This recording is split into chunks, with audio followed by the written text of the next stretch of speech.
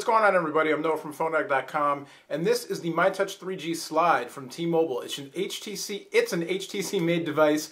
It's uh, T-Mobile's new flagship phone, uh, new flagship of their MyTouch line, their custom in-house branded MyTouch line. It's Android, Android 2.1 with HTC Sense on top of it, but it's a customized version of Sense just for T-Mobile, codename Espresso. But you don't need to know that. You just know the MyTouch Slide. It's got all kinds of special features and tweaks and stuff you're not going to find on any other devices and it's a huge phone for T-Mobile. And because of all that, and because of the interest that's been shown so far uh, from the unboxing video, we decided let's go multi-touch on, or multi-touch, multi-part on this one.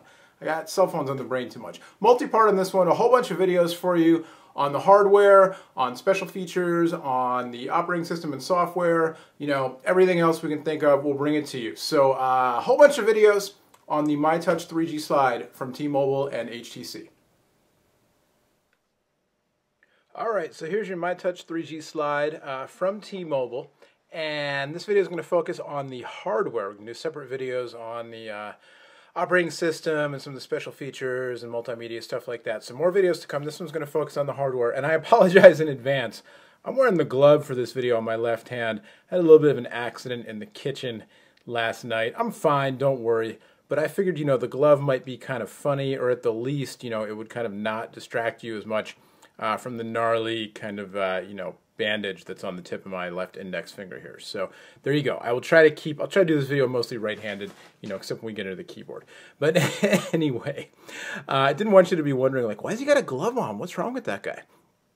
So here is the device itself. It's uh, a 3.4 inch HVGA uh, capacitive multi-touch. So the screen a little bit smaller, than the screens that you find on the other uh, high-end flagship Android phones that just came out. Oh, look, here they are.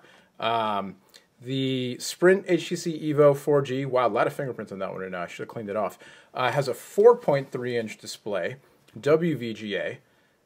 And on the other side of it, the Droid Incredible for Verizon. These are all HTC made phones. This one has a 3.7 inch display, also WVGA.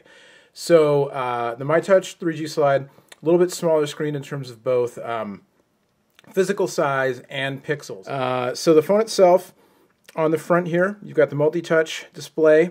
Uh, you've got four buttons on the bottom, home, menu, back, and then instead of a search button, you have the Genius button, which activates this whole Genius system, this kind of advanced uh, voice recognition system, which is pretty cool. And then you've got um, a D-pad down here in the bottom. It's an optical D-pad that you uh, you can you know click on as well to do stuff. So I'm trying to find something that you can click on here, or that I can click on, I should say. But um, nothing going.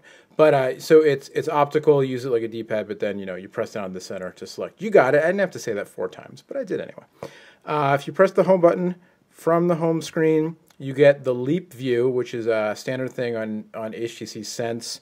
2.1, so it's kind of like thumbnails of all your different home panels. Five home panels available. We'll go back. Uh, you can. I was asked a question about this, so I'll mention this now, even though it's more of a software thing. You can't do live wallpapers on this phone. Um, it's this custom version of Sense that does not run live wallpapers, and you'll also see that the icons look a little different than they do on other um, Android phones or even HTC Sense Android phones. That's because this is a very highly customized version of Sense, uh, codename Espresso, for the MyTouch 3G slide. But uh, we'll get more into that into the software video. Back to the hardware, you've got your uh, speaker grill up on top, little LED notification light. You might have just seen blink green over there. On the left side of the phone, there's a rocker switch. On the right side of the phone, there's a dedicated camera button. On the bottom, you've got a micro USB port. On top, you've got a 3.5 millimeter headphone jack, or 3.5 millimeter audio jack, I should say, and then a button that does um, screen lock and power. On the back, 5 megapixel camera with flash and your speakerphone grill. The phone is available in black, which you see here. It's also available in red and in white, and there's a whole host of uh, accessories, part of T-Mobile's whole MyTouch line. Whole bunch of accessories available. Also, the phone comes in this uh, kind of funny box. It's like this plastic sort of suitcase thing. You can see that in the unboxing video if you're interested. Uh, it is a slider, so you slide it open, and you've got, which uh, what to me is one of the big highlights of the phone is the keyboard. This is a fantastic QWERTY keyboard. Uh, it, it reminds me of the keyboard on the HTC Touch Pro 2 series, but it's a little bit smaller to fit, um, you know, the fact that the device itself is a little smaller. So it's four rows, not five. The action on the keys is great. Um, I've talked to a few people who don't like the fact that uh, not only is there not a dedicated number row, but the way the buttons are labeled, uh, especially in the top row here, you know, the, the numbers and the letters are equal size and they wish that the secondary labels had been a little smaller. I see the point. It doesn't really bother me. I see the point. More important to me is that the action on the keys is great.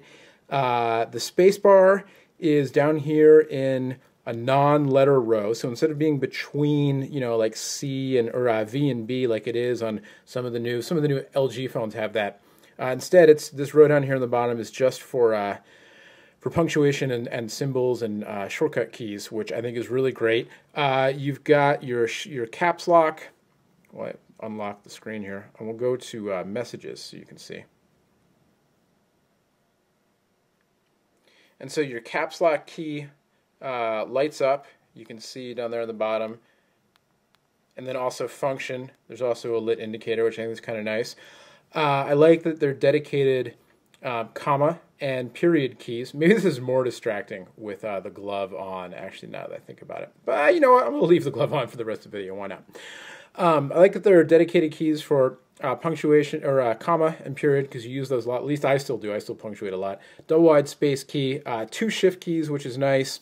Just the action on the keys is very crisp, um, even with the glove on. See, now I'm making a big deal about the glove, and I mess myself up there. That's what I get. That is what I get. All right, the glove's off. You can just deal with the band-aid. It's not that big of a deal. Uh, so the quick brown fox jumped over the lazy, whoops. Yeah, it's a nice keyboard. The action on the keys is good. Nice and firm. Uh, short travel, but not, you know, not, not too bad. Very firm response. Uh, I don't feel much, you know, or anything really in the way of that double clicking you sometimes get on those double wide keys. Uh, no sloppiness. It's just, it's a nice keyboard. I, I personally really like it. Uh, you've got a home shortcut key, menu, search all down here as well, and then you can easily get to the touchscreen and the uh, the trackpad. So there you go. Big thumbs up for me anyway on the keyboard. I'll go back to the home screen. One thing that I've found though, and I've talked to a few people who haven't noticed this on on their early review units, but I have, is that I've got some some wobble here in the slider. When the phone is open, uh, I feel a little bit of wobble here in the joint and uh, I notice it mostly when actually pressing, not where I was there, but pressing down right here. Uh, and it's actually more on this side than that side, which makes me wonder if it is a defect. Um, hopefully not something that will plague production runs of this of this phone, but um, definitely feel it when I tap down there. I don't know. I think there. I think you know when I shut up, you can hear not much wobble there, but on this side. And so really, you know, I noticed that when the phone's open and then I try to do something like touch the screen or go up here to the uh, D-pad. Typing, not a problem. Phone closed, not a problem. But I do notice it there. A little disconcerting because uh, otherwise, you know, it's a very solid snap slider action, really good.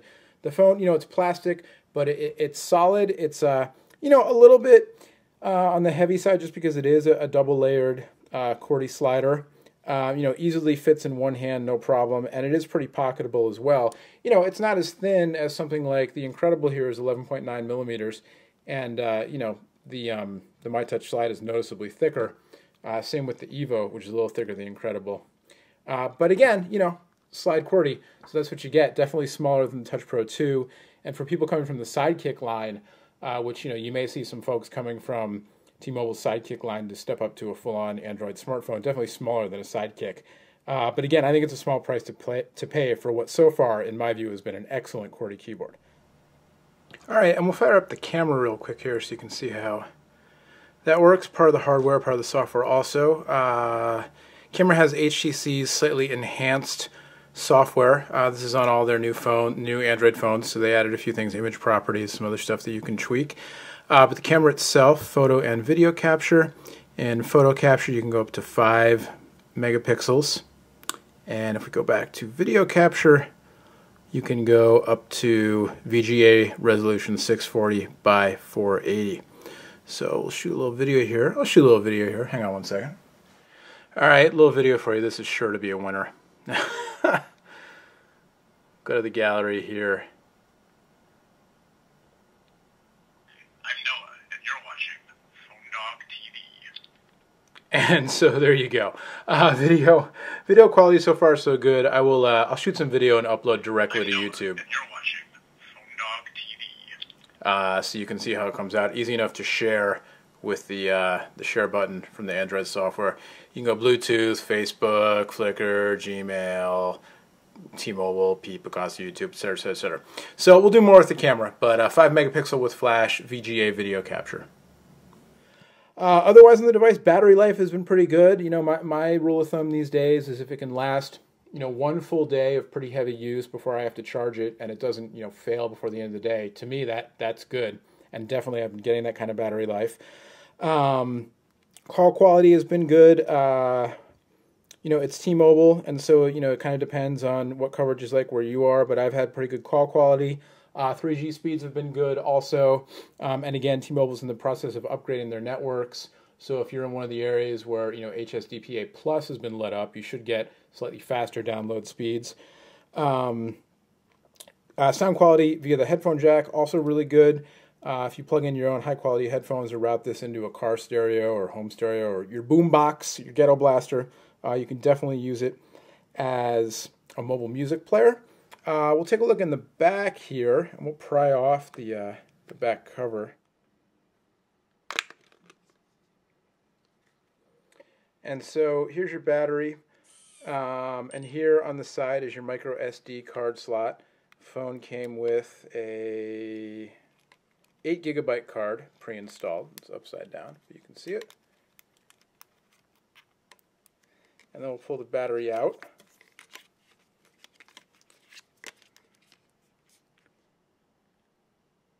And so you've got a 1300 milliamp hour lithium ion battery. Here's your SIM card slot. Uh, it's GSM quad band, it uses T-Mobile's AWS banding. So theoretically, if this phone was unlocked, you could use it on AT&T or on uh, GSM networks around the world, but uh, not with 3G uh, data. You would be getting edge data or GPRS data because uh, because of T-Mobile's proprietary 3G bands with the AWS. Boot it back up. Get the fingerprints off of it. Uh, you've also got Wi-Fi on here. Uh, you've got Bluetooth, of course, GPS. Um, and the voice recognition system is enhanced. That's mostly software, though. It's built on top of uh, Google's voice recognition. You get access to uh, Google Google Navigation, of course, all the other Google services. Um, again, all in all, hardware-wise, uh, it's a nice device. It feels like a consumer, you know, kind of like a high-end consumer device. It doesn't feel as luxurious as something like the Nexus One, uh, but it's solid. You know, you may or may not like the styling with kind of the the enhanced grill there. If you look at these other two HTC recent HTC devices, the Droid Incredible and the Evo have kind of this standard grill, uh, just differently colored and differently sized to fit the phone. My Touch, a little more chrome, a little more flair to it, and uh, you know it's just kind of what you think of it. Um, but the hardware's been solid. Again, that one concern with the the the uh, wobble on the slider that I mentioned, but other people I know who have the device have not had that problem. And I don't just mean T-Mobile PR people. I've talked to a couple other reviewers I know who have my touches who say they don't have any wobbles. So if you get your hands on one of these, let us know in the comments if you have any any problems, any wobble at all. But otherwise, um, you know, so far so good. Here's the back. I don't think I showed you the back panel extended with that dot pattern. Go to Phone Dog. And uh, I'm connected over Wi-Fi right now.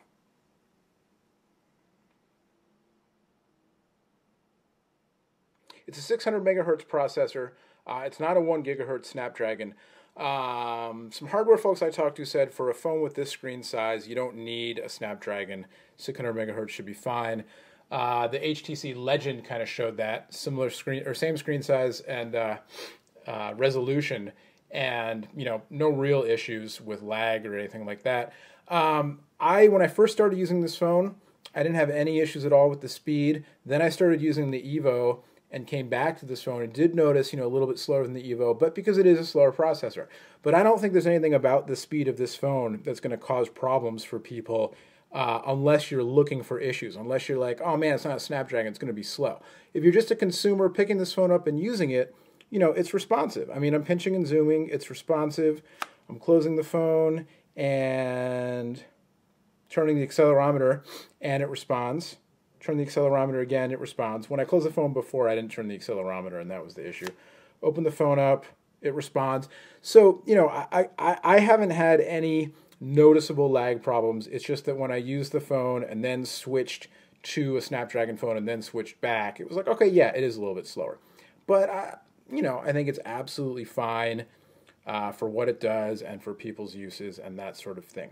So there you go. It's an overview of the hardware. Again, it's available not just in the black, but also in red and in white. It's the MyTouch 3G Slide from T-Mobile, built by HTC, 3.4 inch HVGA display, uh, 600 megahertz processor, Wi-Fi, 3G, GPS, Bluetooth, all that good stuff.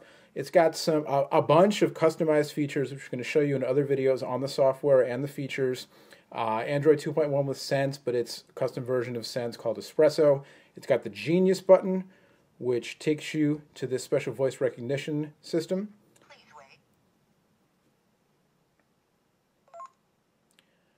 Search spicy fajita recipes. See, I switched it up because one of the examples was spicy chili recipes, so I wanted to switch it up.